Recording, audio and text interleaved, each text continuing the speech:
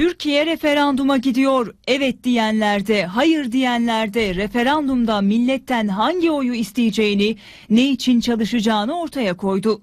AK Parti ve MHP millete evet çağrısı yaptı.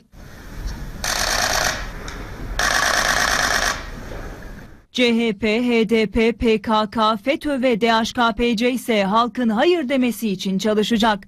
Fakat nedense CHP bu amaç birlikteliğinin dillendirilmesinden rahatsız. Hatta 24'ün bu safları ortaya koyan, gizli ya da açık ittifaklara işaret eden haberi rahatsızlığa neden oldu. CHP'nin gazeteci kökenli İzmir Milletvekili Tuncay Özkan Twitter hesabından 24'ün haberini paylaştı ve açıkça hedef gösterdi. Halbuki milli iradenin sesi 24, Özkan'ın rahatsız olduğu haberde millete kimin hangi safta, kimlerle beraber hareket ettiğini anlatıyordu. CHP'li eski gazeteci Tuncay Özkan'a göre CHP'nin HDP, PKK, FETÖ ve DHKPC ile aynı tercihi ortaya koyduğunu söylemek, bir başka deyişle CHP hayır diyecek demek demokrasiye ihanet. Biz hukuku, demokrasiyi Özkan bununla da kalmadı. Bu televizyon bunun hesabını verecek. Her CHP üyesi bunun hesabını tek tek soracak diyerek 24'ü açıkça hedef gösterdi.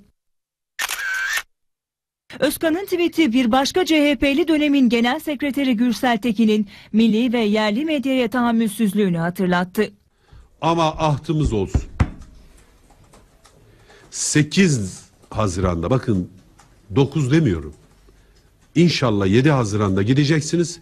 8 ve 9 Haziran'da ilk işimiz bu gazetelerin tamamına el koymak olacaktır. Tamamına.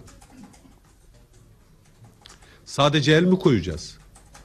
Aynı zamanda bulaşmış ne kadar iş adamı varsa onların da patır patır hesabını soracağız. İşte CHP'nin basın özgürlüğüne yaklaşımı ve milli medyaya açık tehditleri takdirse her zaman olduğu gibi milletin.